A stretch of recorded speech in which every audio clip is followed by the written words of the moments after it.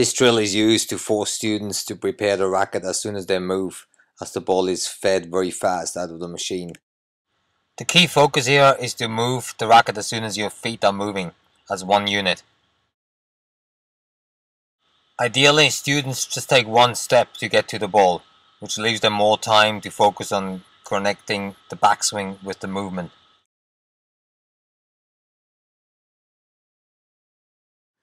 Have student and coach alternate hitting the ball to show proper execution.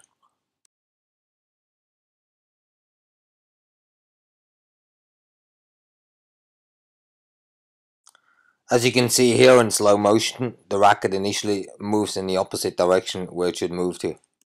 The racket needs to be taken back to the side the ball is going to be hit from right away.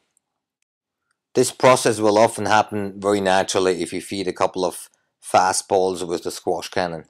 Here you can see already that the student prepares his racket way earlier as he takes off, which is the goal. It's preferable to have the racket ready in front of the student to force an early backswing. To make it easier initially for students, you can start with the racket to the side of their body to give a little bit more time.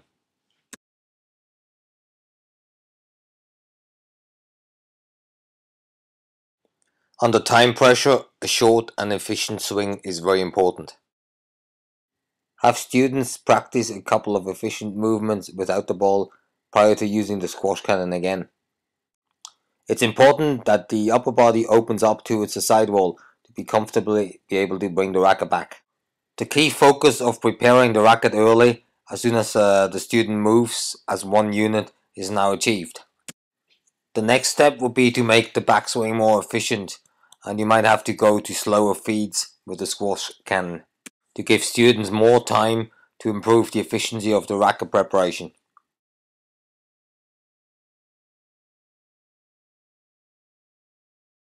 Students should stick to a one-step movement to have more time available to better coordinate moving and preparing the racket simultaneously. Taking one step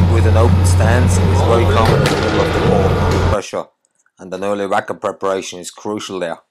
Here, the student doesn't rotate his body sufficiently towards the sidewall to be able to use a quick and low backswing. This is a great drill to progress gradually by feeding the balls faster and faster and see if the proper technique can be maintained under pressure.